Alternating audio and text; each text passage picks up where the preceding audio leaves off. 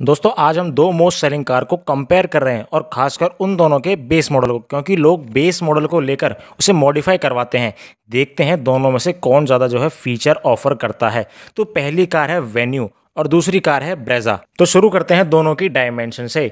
तो पहले बात करते हैं वेन्यू की। जो वेन्यू की लेंथ है वह उनतालीस सौ पचानवे एम एम विर्थ है सत्रह सौ सत्तर एम और हाइट है सोलह सौ सत्रह एम एम जो उसका व्हील बेस है वो है ढाई हज़ार एम एम का।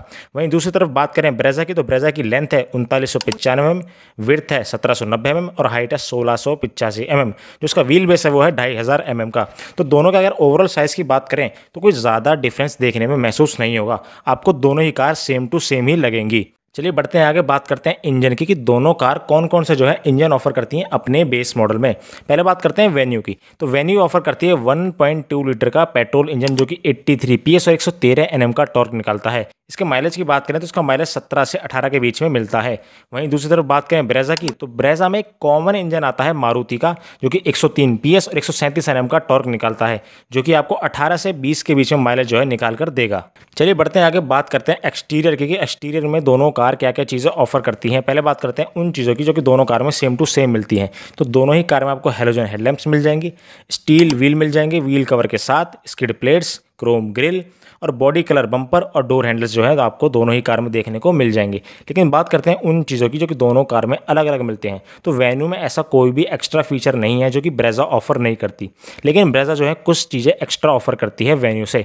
तो ब्रेजा में आपको रियर स्पॉयलर मिल जाएगा शार्क फ़ैन एंटीना क्लैडिंग मिल जाएगी डोर्स पर और आउटसाइड पर। व्हील आर्क मिल जाएगा और इलेक्ट्रिकली एडजस्टेबल ओआरवीएम भी इसमें मिल जाएँगे। तो ये सारी चीज़ें जो है आपको दोनों ही कार में अलग अलग देखने को मिल जाएगी। चलिए बढ़ते हैं, आगे बात करते हैं इंटीरियर की, कि इंटीरियर में दोनों कार क्या क्या चीज़ें ऑफ़र करती हैं। पहले बात करते हैं सेम चीज़ों की, कि दोनों कार क्या क्या चीज़ें जो हैं सेम ऑफ़र करती हैं। तो दोनों ही कार में आपको cabin lamps manual A C charging ports twelve volt power socket tilt steering तो ये चीज़ें जो हैं सेम मिलती हैं। लेकिन बात करते हैं सेपरेट चीज़ों की दोनों कार में क्या क्या अलग मिलता है।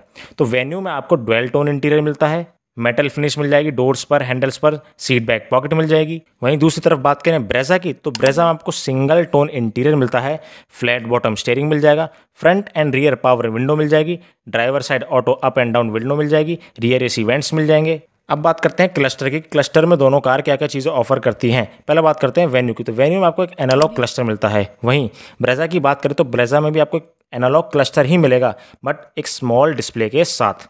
और दोनों ही कार में आपको जो है इन्फोटेनमेंट के नाम पर कुछ भी नहीं मिलता। लेकिन आप चाहें तो शोरूम से एसेसरीज़ के रूप में ये चीज़ें लगवा सकते हैं। तो सारी चीज़ें जो है आपको इंटीरियर में ऑफ़र की गई हैं दोनों ही कार में।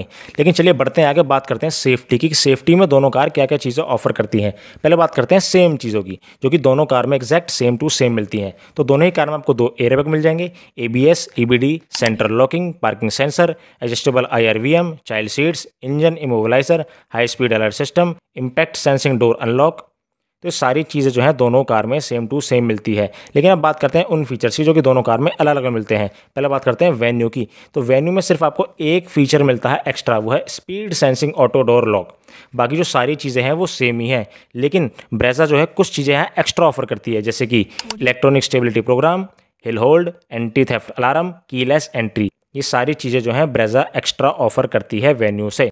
तो अगर रियल लाइफ सेफ्टी की बात करें तो दोनों ही कार का जो है अभी तक क्रैश टेस्ट नहीं हुआ। लेकिन आप ब्रेजा को फोर स्टार और वेन्यू को थ्री स्टार कह सकते हैं इनके ट्रैक रिकॉर्ड के हिसाब से। चलिए बढ़ते हैं, आगे बात करते हैं प्राइस की, कि दोनों कार के प्राइस में कितना डिफरेंस है। तो वेन्यू का जो बेस मॉडल का प्राइस है, वो करीबन साढ़े सात लाख से शुरू है।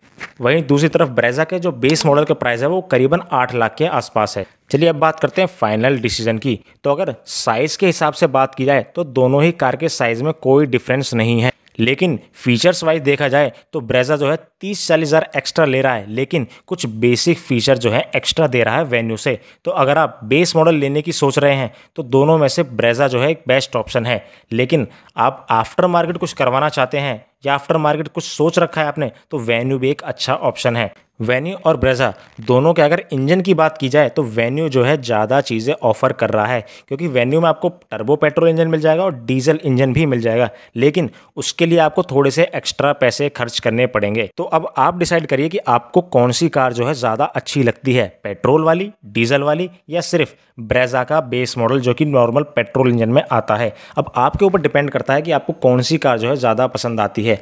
और हाँ और एक और चीज़, जो भी कार आपको पसंद आती है, कमेंट बॉक्स में ज़रूर बताएँ कि वो क्यों पसंद आ रही है और उसका क्या कारण है आपका पसंद आने का। और दोनों ही कार में आपको जो है कौन से फीचर जो है, ज़्यादा बेटर लगते हैं। तो चलिए दोस्तों, आज के लिए सिर्फ़ इतना ही। फिर मिलते हैं आपके साथ नई वीडियो के साथ। जाते वीडियो को लाइक, शेयर और चैनल सब्सक्राइब करना ना भूलें।